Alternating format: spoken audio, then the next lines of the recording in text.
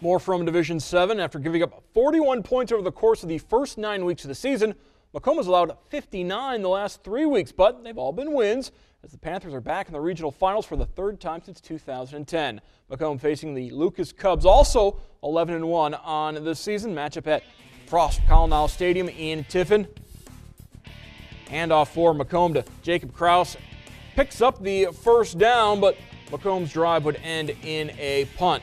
Lucas ball now. Ruben Luna handing off to Mason Galco. Tripped up behind the line by Noah De La Cerda for the two-yard loss. Lucas would punt away. Second quarter, Abbott giving to Kraus. Low to the ground. Hard to bring down. Big gain here. First down for McComb.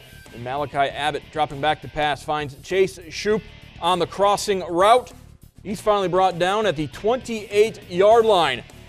Kraus taking the carry right up the middle. And he gets into the end zone. But officials say he is down at the one, but an 11 yard pickup. First and goal, Keegan Lowe caps off the drive as he breaks the plane. McComb up 7 to nothing.